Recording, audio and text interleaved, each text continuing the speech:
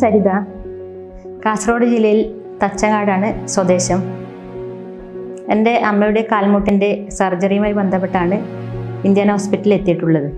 Doctor Jalaluddin സാറിന്റെ നേതൃത്വത്തിലാണ് surgery നടത്തിയത്. വളരെ സൗഹാർദ്ദപരവും രോഗിയുടെ ആത്മവിശ്വാസം ഉയർത്തുന്ന തരത്തിലുള്ള സമീപനമാണ് ഇവിടെ ഡോക്ടർമാരുടെ ഭാഗത്തു നിന്നും നേഴ്സിംഗ് സ്റ്റാഫിന്റെ ഭാഗത്തു നിന്നും അതുപോലെ തന്നെ ഫിസിയോതെറാപ്പിസ്റ്റിന്റെ ഭാഗത്തു നിന്നും ഉണ്ടായിട്ടുള്ളത്. ശുചിത്വത്തിന്റെ കാര്യത്തിൽ വളരെ ഉയർന്ന നിലവാരം പുലർത്തുന്ന ഹോസ്പിറ്റലാണ് ഇന്ത്യാന. എല്ലാ ദിവസവും രണ്ടു നേരവും ക്ലീനിങ് സ്റ്റാഫ് റൂമിലെത്തുന്നുണ്ട്.